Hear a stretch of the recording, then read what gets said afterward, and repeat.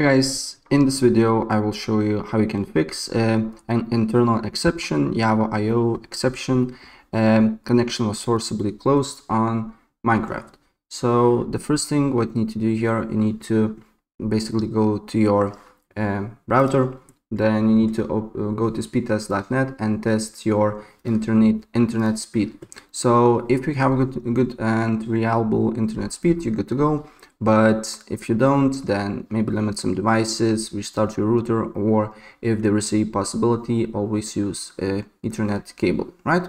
So if you have a good internet speed and still if you having the same issue here, uh, what you need to do here next is to open up Task Manager and once you open up task, task manager then you need to go to performance then press on the three little dots here to see more and then press on resource monitor. And after a few seconds uh, here on the network tab you will see uh, all the apps that uses uh, internet um, basically uh, data on your computer. So if you want to you can uh, disable them but also uh, always end the tasks that you really know so you don't crash your computer. So for example, I can you disable Spotify uh, because uh, when I play I don't need it. Then I can uh, turn off um, Chrome, Cloudflare Warp, and Brave, and all the apps here and up to you close apps that you don't use and you really know that it will it won't uh, crash your computer. Then you need to look if still the problem persists or not.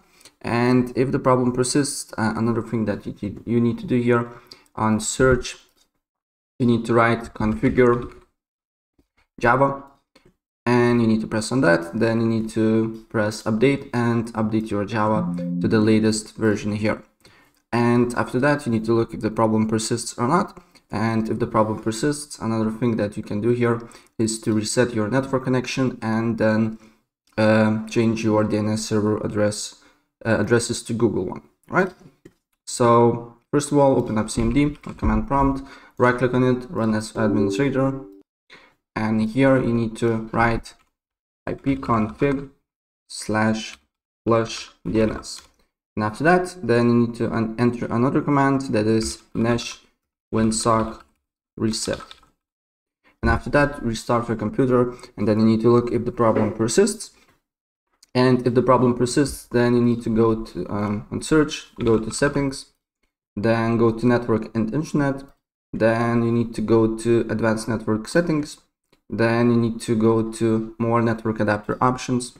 And here on your internet uh, basically you need to go to properties then make sure to turn off internet protocol version 6 and then double click on internet protocol version 4 and then here use the uh, select this option use the following DNS server addresses and on preferred DNS server you need to write 8.8.8.8 and on alternate DNS server you need to write 8.8.4.4 apply uh, apply the changes restart your computer and then you need to look if the problem persists or not. And if the problem persists and last thing that uh, that you can do here is to open up minecraft launcher. Then you need to go to installations. Then you need to select new installation.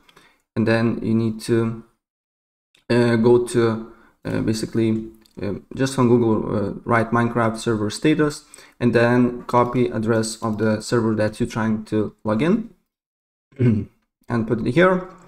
And once you do that, you will see uh, on what version the server is running. And then go to launcher here and do basically uh, with the same version that is on your server here and then run the game. And if the problem still persists, maybe use some third-party um, antivirus softwares like uh, McAfee, Avast, Kaspersky, or others. So when you play the game, try to disable them as well as your proxies or VPNs.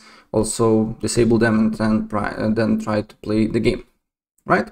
So yeah, that's pretty much it. And if I help you out, please press like button and subscribe for more. Take care. Bye.